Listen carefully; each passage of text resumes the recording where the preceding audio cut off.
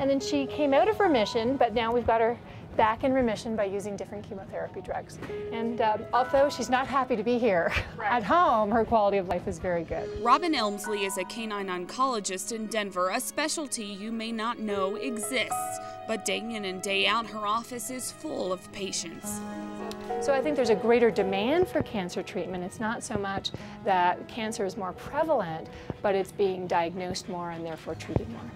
Treatments last six months and can cost as much as $4,000. Elmslie says you can cut back on the drugs used, but that will, of course, reduce the success of treatment. She certainly isn't alone in her pursuit for a better life for man's best friend.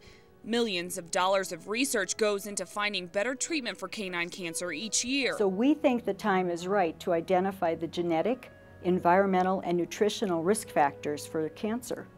We think by solving it for our best friend, we may solve it for the world. Patricia Olson is the president and CEO of Morris Animal Foundation in Denver, the largest nonprofit foundation dedicated to funding research studies to protect, treat, and cure animals. This year alone, the foundation will provide $10 million to studies in 35 different species of animals. The focus is, of course, on eradicating cancer in animals, but also providing research that benefits humans. 10,000 dogs get bone cancer each year, 1,000 children.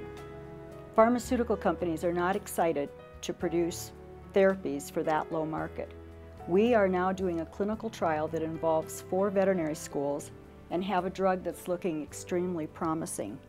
Because of that, the National Cancer Institute is extremely excited about our work and think that this may lead to a better treatment for children. So we're all in this together. We all share the same planet, and we hope to work together to solve this problem.